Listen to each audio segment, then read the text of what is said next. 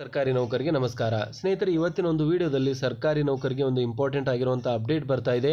Related to seventh pay commission ತುಂಬ ಜನ ಸರ್ಕಾರಿ ನೌಕರರು ಐದು ಗ್ಯಾರಂಟೀಸ್ಗಳೇನು ಇಂಪ್ಲಿಮೆಂಟ್ ಮಾಡಲಾಗ್ತಾ ಇದೆ. ಇವುಗಳಿಂದ ಏಳನೇ ವೇತನ ಆಯೋಗದ ಹಣಕ್ಕೆ ಇಲ್ಲಿ ಸಮಸ್ಯೆ ಆಗಲಿದೆ.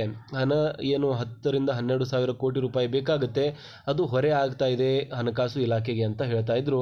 ಬಟ್ ಅದಕ್ಕೆ ಸಂಬಂಧಿಸಿದಂತೆ ಬರೀ ಊಹಾಪೋಹಗಳೇ ಇದ್ದು, ಅದಕ್ಕೆ ಫೈನಲ್ ಆಗಿ ಸಿ ಎಸ್ ಷಡಕ್ಷರಿಯವರು ತೆರೆಯನ್ನು ಎಳೆದಿದ್ದಾರೆ.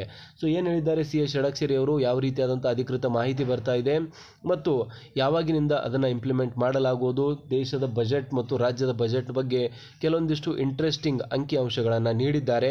ಸೊ ಇವತ್ತಿನ ವಿಡಿಯೋದಲ್ಲಿ ನಾವು ನೋಡೋಣ. ಇಲ್ಲಿ ನೋಡ್ತಾ ಇರುವಂಥದ್ದು ಏಳನೇ ವೇತನ ಆಯೋಗದ ಕೆಲಸ ಸಂಪೂರ್ಣವಾಗಿ ಮುಗಿದಿದ್ದು ನವೆಂಬರ್ ನಲ್ ನವೆಂಬರ್ನಲ್ಲಿ ನಲವತ್ತು ಪರ್ಸೆಂಟ್ ಫಿಟ್ಮೆಂಟ್ನೊಂದಿಗೆ ವೇತನದ ವರದಿ ಸರ್ಕಾರಕ್ಕೆ ಸಲ್ಲಿಕೆ ಆಗಲಿದೆ ಅಂತ ಹೇಳ್ತಿದ್ದಾರೆ. ಸೊ ಆಲ್ರೆಡಿ ವೇತನ ಸಮಿತಿಯನ್ನು ಸುಧಾಕರ್ ಅವರ ಅಧ್ಯಕ್ಷತೆಯಲ್ಲಿ ರಚಿಸಲಾಗಿತ್ತು. ಅದರ ಕೆಲಸ ಕಾರ್ಯಗಳು ಸಂಪೂರ್ಣವಾಗಿ ಮುಗಿದಿದ್ದು ನವೆಂಬರ್ ಅಂತ್ಯದಲ್ಲಿ.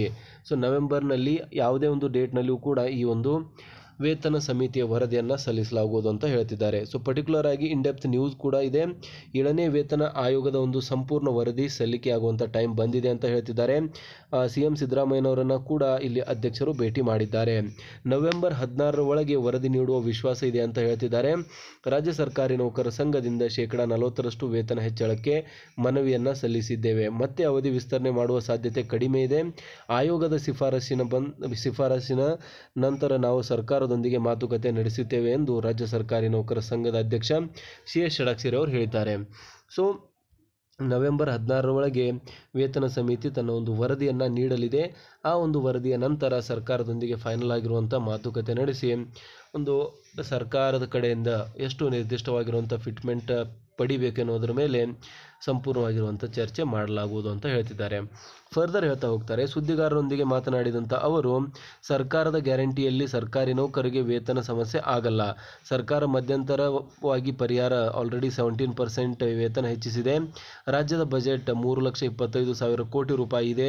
ಸರ್ಕಾರಕ್ಕೆ ನೌಕರರ ವೇತನ ದೊಡ್ಡ ಮೊತ್ತ ಅಲ್ಲವೇ ಅಲ್ಲ ಅಂತ ಹೇಳ್ತಿದ್ದಾರೆ. ಹಿಂದಿನ ಸರ್ಕಾರದ ವರದಿ, ಹಿಂದಿನ ಸರ್ಕಾರ ವರದಿ ಬಂದ ಬಳಿಕ ಒಂದು ವೇತನದ ಫಿಟ್ಮೆಂಟ್ ಬಗ್ಗೆ ಡಿಸ್ಕಸ್ ಮಾಡ್ತೀವಿ ಅಂತ ಹೇಳಿದ್ರು. ನಾವು ನಲವತ್ತು ಪರ್ಸೆಂಟ್ ವೇತನ ಹೆಚ್ಚಳವನ್ನು ಕೇಳಿದ್ದೇವೆ.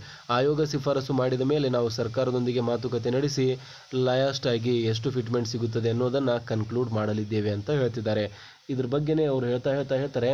ಸಿ ಎಂ ಸಿದ್ದರಾಮಯ್ಯನವರೇ ಏನು ಆರನೇ ವೇತನ ಆಯೋಗವನ್ನು ರಚಿಸಿ, ಆ ಒಂದು ಇಂಪ್ಲಿಮೆಂಟೇಷನ್ನಲ್ಲಿ ಮೂವತ್ತು ಪರ್ಸೆಂಟನ್ನು ಫಿಟ್ಮೆಂಟ್ ನೀಡಿದ್ದು, ಇವಾಗ ಕೂಡ ಒಂದು ಒಳ್ಳೆಯ ಫಿಟ್ಮೆಂಟ್ ನೀಡ್ತಾರೆ ಅನ್ನೋ ಒಂದು ಭರವಸೆ ಇದೆ ಅಂತ ಇಲ್ಲಿ ಜ್ಞಾಪಿಸ್ಕೊಳ್ತಾ ಇದ್ದಾರೆ. ಸೊ ಬೇಸಿಕಲಿ ಏಳನೇ ವೇತನ ಆಯೋಗ ಎಲ್ಲವೂ ಕೂಡ ಆನ್ ಟ್ರ್ಯಾಕ್ ನಡೀತಾ ಇದ್ದು, ವೇತನ ವರದಿ ಇನ್ನೇನು ಬರಲಿದೆ ಅಂತಲೇ ಹೇಳ್ಬೋದು. ಸೊ ಇದ್ರ ಬಗ್ಗೆ ನಿಮಗೇನು ಅನಿಸುತ್ತೆ? ಕಮೆಂಟಲ್ಲಿ ತಿಳಿಸಿ. ವಿಡಿಯೋನ ಲೈಕ್ ಮಾಡಿ, ದಯವಿಟ್ಟು ಚಾನಲ್ನ ಸಬ್ಸ್ಕ್ರೈಬ್ ಮಾಡ್ಕೊಳ್ಳಿ.